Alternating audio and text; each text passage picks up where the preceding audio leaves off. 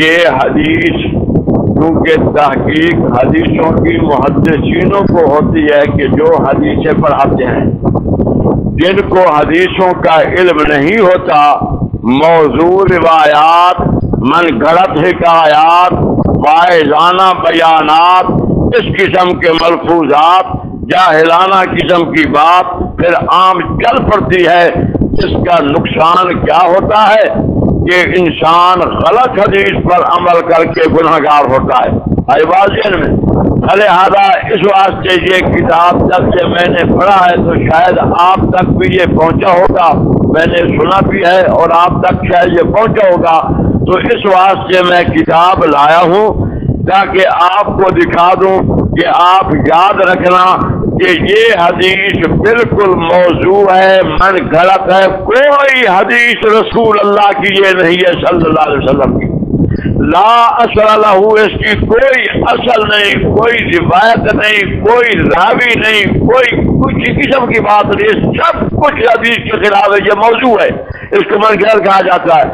اور اس پر یہ لکھ رہے ہیں، یہ آپ مجھے دکھانے کے لیے آپ کو لایا ہوں۔ تاکہ آئندہ یعنی اس قسم کے اعمال سے آپ رکے جو عمل یہاں سے میں آپ کو لکھ کر دوں، جب بتاؤں، وہ آپ فوری طور پر اس پر تو عمل کریں، کیونکہ میں اس کا ضامن اور حدیث کے مطلع ہو کر میں بیان کرتا ہوں۔ کیونکہ موضوع روایات، جس بیان کرنا، موضوع روایات کا بیان کرنا حرام، موضوع حدیث پر عمل کرنا حرام۔ لہٰذا اب جو کر چکے ہیں وہ جو آپ کو علم نہیں تھا، جن میں سے جس صاحب نے کیا ہے۔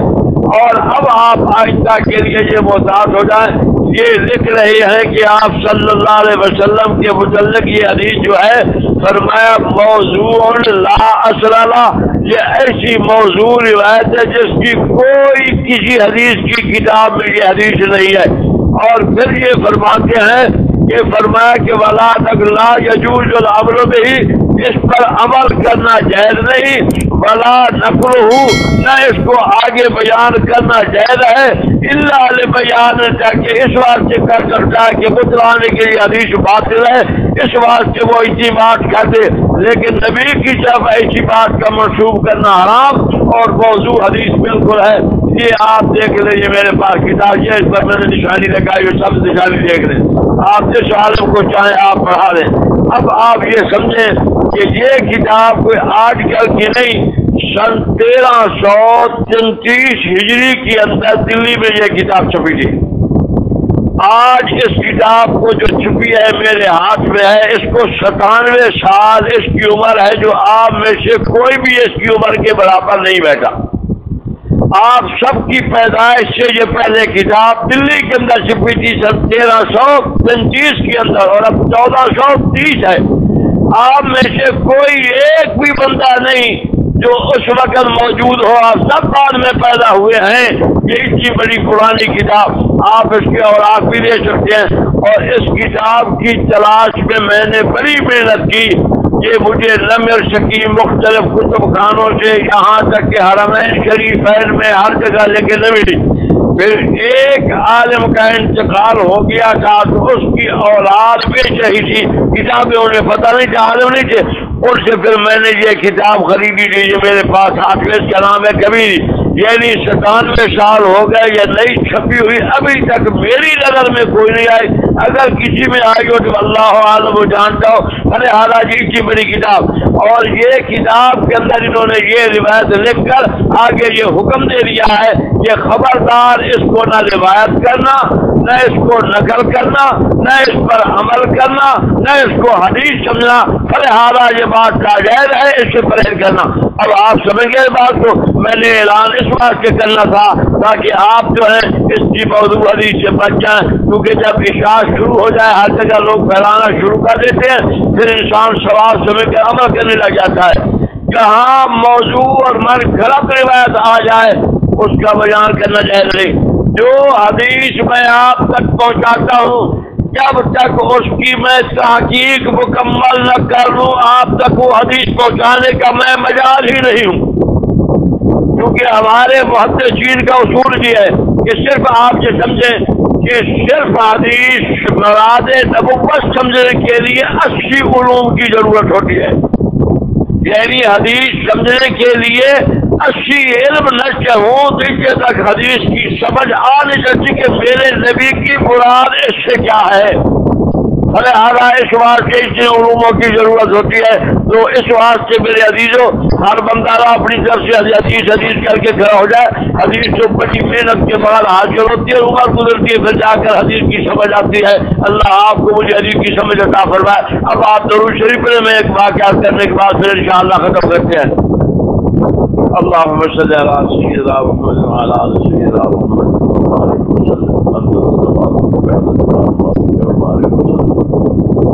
میرے عزیزو،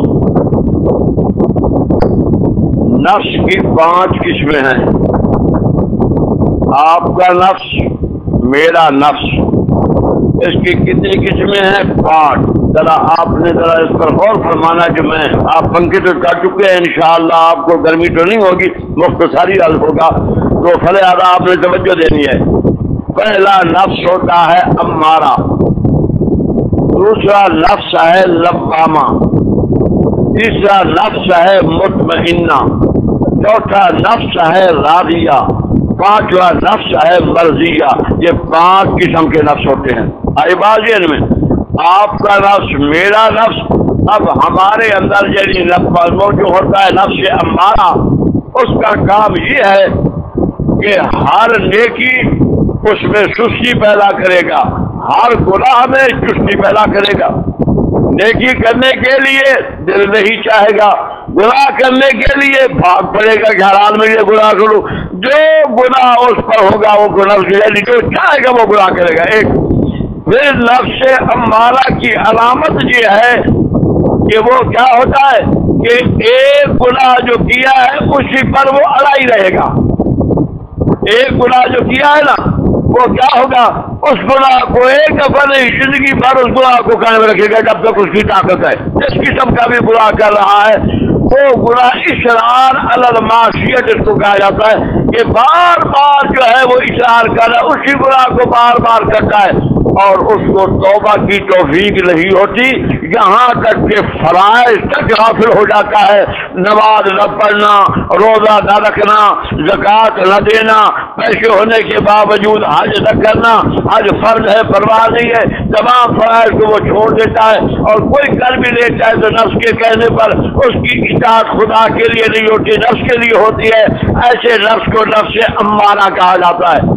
جو نفس امارہ ہوگا یہ ابتدا کا انتہا یہ پورا خبیص نفس ہے یعنی لاپاک نفس ہے، جب تک یہ جہنم میں چلے گا نہیں، جنت کے قابل یہ نفس نہیں ہے اللہ باللہ۔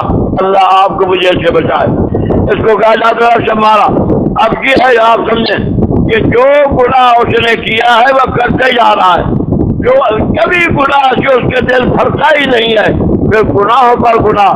اس طرح نیکیاں کرنے سے آگے نیکیاں نیکیوں کی حکومت ہوتی ہے نا، گناہ کرنے سے اگلا دوسرا گناہ آسان ہو جاتا ہے۔ اس سے اگلا گناہ آسان ہو جاتا ہے۔ وہ جب یہ گناہ جس طرح آسان ہونے لگے اللہ تعالیٰ قرآن میں فرماتے ہیں فاصل لے لو حسرا سورت واللیل کے اندر میرا رب شار فرما رہا ہے، جس انسان پر خدا کی تباہی اور بربادی آ جاتی ہے، اس کے گناہوں کی شامت کی وجہ سے میرا رب ناراض ہو جاتا ہے۔ فرمایا فاصل و یس لے لو حسرا ہم اس کے لیے آسان کر دیتے ہیں۔ تنگیاں یعنی کیا ہے کہ جہنم کی جہنم کی اس کو پرواہ نہیں رہتی، عذاب قبر سے وہ فکر ہوتا ہے، موت کی عزت اور حدت سے پیغام ہو جاتا ہے۔ اس قسم کا وہ نفس ہمارا ہوتا ہے کہ یعنی جو نفس نے حکم دیا وہ کرنے لگ گیا۔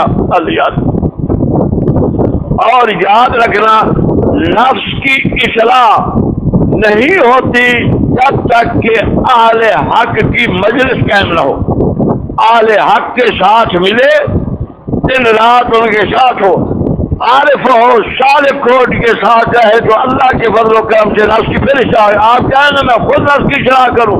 کوئی بندہ یہ نہیں چاہتا، ہر بندہ چاہتا ہے کہ میرا دل کہتا ہے، ساری رات عبادت کروں، سارا دن روزے رکھوں ہمارا وقت ذکر کروں، لیکن کر نہیں سکتا خواہشات پوری رکھتا ہے۔ لیکن جب انسان ایسے لوگوں کے پاس بیٹھے گا کہ جن کے لفظ ہمارا ختم ہو چکے ہیں ان کی مجلس میں جب بیٹھے گا تو نفس ہمارا خود بخود کمزور پڑتا پڑتا اس کے نفس میں بدل جائے گا۔ اس بات کے فرمایا مولانا روح فرماتے ہیں کہ نفس نہ تبا نفس نہ تبا کش اللہ جل پیر نفس نہ تبا کش اللہ جل پیر دامن ای نفس را محکم بگیر فرمایا کہ نفس جو ہے یہ کبھی نہیں مرتا، یہاں تک کہ ایک ولی پیر ہو، اس کی مجلس میں جب جائے گا، فرمایا اس کے سائے سے یہ بھاگتا جائے گا۔ فرمایا، جب تو دیکھے کہ تیرے اندر نیکیوں کا غلبہ آ رہا ہے، ایک ایک کر کے گناہ چھوٹ رہا ہے، آخرت کا خوف اور دامن دامن گیرا ہے۔ تو فرمایا، ایسے نفس کچھ کا دامن پکڑ لے، تجھے سیدھے راستے پر لے جائے گا۔ تو اس بات سے صحبت کے لیے صحبت بڑی ضرورت ہوتی ہے کہ جب ان تک انسان اچھی صحبت میں نہیں آئے گا، آپ دیکھیں کہ آپ نے کیا ہے، دنیا کے اندر جو بھی بننا ہو ہوتا ہے، آپ اسی مجلس کو اختیار کریں گے۔ اگر آپ نے انجینئر بننا ہے تو ان کی مجالس میں جائیں گے۔ اس طریقے سے آپ نے اگر مٹی بننا ہے تو مٹیوں کے پاس جائیں گے۔ اور جو بھی کام آپ سیکھنا چاہیں گے، ان کام والوں کے پاس جائیں گے۔ اگر نفس کو صحیح کرنا ہے تو نفس مارنے والوں کے پاس جائیں گے۔ پھر جا کر نفس کی اصلاح ہوگی۔ یہ بھی نہیں کہ آگے گزر گیا، بلکہ ان کی مجلس طویل ہو صحبت قدیم ہو، پھر اللہ تعالیٰ ان کی برکت سے، پھر وہ نفس جو ہے وہ اس کے سائے کے نیچے آ کر کمزور پڑنا ہو، شروع ہو جاتا ہے۔ پھر اس جان کا نفس جب ہمارا ختم ہو گیا، پھر اس کے بعد لبامہ آ جاتا ہے۔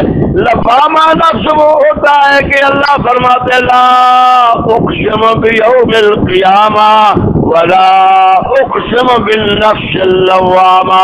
اللہ تعالیٰ قرآن مجید میں سارے نفسوں کا ذکر کیا ہے؟ پہلا نفس ہمارا تھا تو فرمایا، وما ابرئ نفسی ان یہاں ہمارا آ گیا۔ اور ہمارے کا ذکر خدا نے تیرہویں بارے میں کیا ہے۔ اب یہ جو میں نے عرض کی ہے، یہ انتیسویں بارے میں اللہ نے نفس لبامہ کا ذکر کیا ہے۔ یہ قرآن کی بات ہے میں آپ کے سامنے رکھ رہا ہوں۔ فرمایا، نفس لبامہ کیا ہے؟ یہ نفس وہ ہے کہ انسان سے غلطی ہو گئی۔ استغفار اور توبہ کے اندر پھنسا رہ گیا، روتا، چیختا، چلاتا رہ گیا۔ یا اللہ، میرے سے گناہ ہو چکا ہے۔ مال کا مجھے معاف کر۔ اس کے لیے گناہ بڑا بھاری ہو جاتا ہے اور نفس اس کو متحود کرتا ہے یا نفس کو ملامت کرتا ہے۔ لبامہ کہتے ہیں ملامت کرنا یعنی اپنے نفس کو، اپنا نفس ملامت کر رہا ہے کہ کتنا میں نے برا کیا ہے۔ خدا کی نافرمانی کی ہے اور خدا کے معاملے میں میں نے کیا کیا؟ میں نے اس فرض کو کیوں چھوڑا ہے؟ میرے میری نماز کیسے دیر ہو گئی کس سال کے اندر ہو گئی، وہ نفس لفامہ ہے پھر اس کے بعد اللہ تعالیٰ نفس مطمئنہ کا فرماتے ہیں۔ نفس مطمئنہ وہ ہوتا ہے کہ جب انسان پورے طریقے سے اسلام کی ہر بات پر وہ مطمئن ہوتا ہے۔ جب بھی دین کی بات آئے گی، اس کو سکون پیدا ہوگا۔